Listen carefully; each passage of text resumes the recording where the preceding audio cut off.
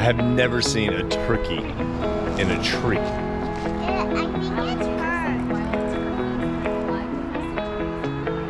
Wild turkeys can fly, apparently, domestic turkeys cannot. I've been thinking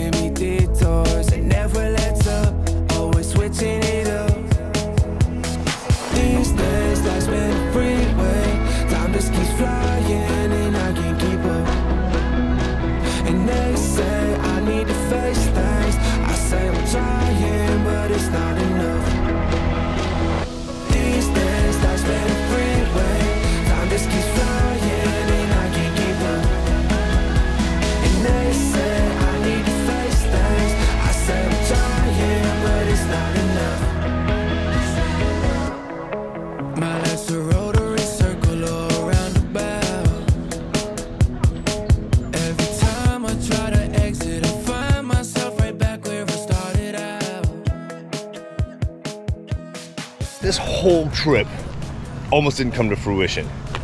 We had this thing booked. We actually drove all the way to Mississippi one day. Mm-hmm. And as soon as we got there, our son tested positive for COVID. I had a feeling like he had it. I Yeah. was like, I know he has it. Mother's intuition. I didn't want us to be stuck in a camper because who knows? Well, it was a month long trip. Yeah. We, we had booked everything out for a full month. Yeah, and who knows who else was gonna get sick since Ugh. we're all in the car together. and I'm so glad that we went home because a few days later, our daughter tested positive, and two days later, I did. We explained the situation and they helped kind of navigate the process for us because it wasn't just our reservation here, it was all the other campsites leading up to here and leaving here. And the ferry. and the ferry, which was actually probably the, the trickiest part because there was nothing available. And we had to book for a 50 foot slot. They gave us a little tip. They said, just call the Port Authority, stay on the phone, see if you can get on the standby list. They had a very good feeling that we wouldn't have to cancel our reservation and that they would be able to accommodate us. We knew it would take us a couple days to get up here. So after speaking to the Port Authority, getting on the standby list, within what, 24 hours? Less than that. Found out Monday morning, like around 11, Mhm. that we were off the wait list. Luckily, since we'd already planned the trip, we already had the rig ready to go. It was stock, everything was ready. Literally, all we had to do was get in and drive our butts up here. So we jumped in and we hauled it. It was two 13 hour days, plus what was only gonna be about what, four, maybe five hours that last day getting over here. But we hit horrendous New York, Connecticut traffic, and the whole trip ended up taking us 34 hours in three days. But we made it. We made it. I'm so glad we made it. Stay tuned at the end of this video. We're gonna have our list of top five things that we found to do here on the video.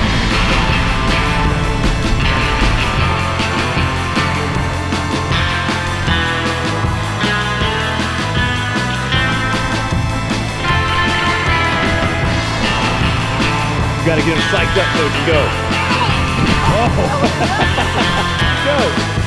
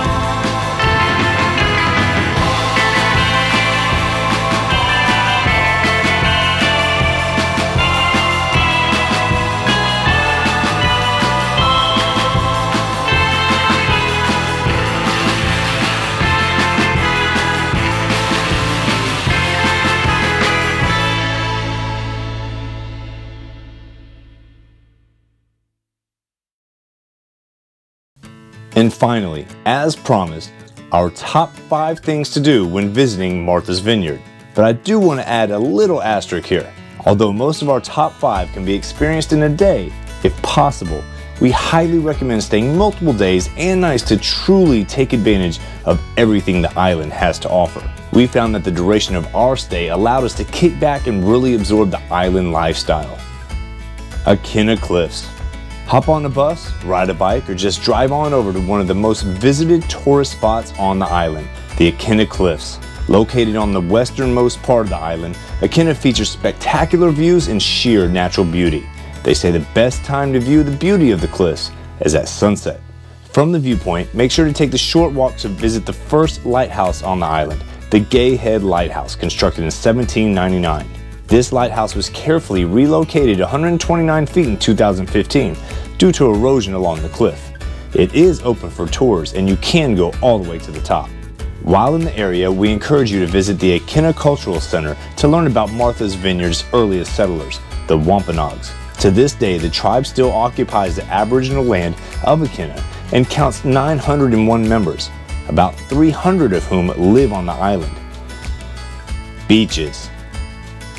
Pack a picnic, collect seashells, take a dip, read, and soak in the warm sun on one of the many beaches of the island. There are quite a few private beaches, but there are enough public beaches to choose from. If you're a Steven Spielberg fan or an adventurous, you have to check out and take the plunge off of the Jaws Bridge, located on Beach Road connecting Edgartown and Oaks Bluff. Parking fills up fast though, so get there early. If you are a dog owner, please note, not all beaches are dog friendly. Shopping. Martha's Vineyard has something for everyone toy stores for the kids, various souvenir shops, home decor, art, and more. Stop by any of the Black Dog stores for an infamous t-shirt or sweatshirt and check out the multiple Vineyard Vines to pick up town exclusive apparel. We had a great time perusing the shops throughout all the towns, but be forewarned, it's easy to break the bank. Our daughter purchased crystals from Sanctuary and Vineyard Haven, pajamas for the family from BB, spices from the oldest grocery stores, veggies and fruits from the local markets. There are six main towns on the island, but if you're short on time, the big three are Edgartown, Oaks Bluff, and Vineyard Haven. Edgartown is the oldest and poshest of the three. Once a whaling port, this town now hosts some of the island's finest restaurants, art galleries, homes, and shops. After exploring the streets, make sure to check out the Edgartown Lighthouse and take a stroll along the beach. This was our favorite of the three as it was less crowded than Oaks Bluff but had more to do than Vineyard Haven. Oaks Bluff is home to the largest marina on Martha's Vineyard. Known for their bustling season waterfront, downtown nightlife, and historic gingerbread houses, Oaks Bluff has several beautiful public beaches, an abundance of wildlife, a golf course, and much more, making this a great place to visit.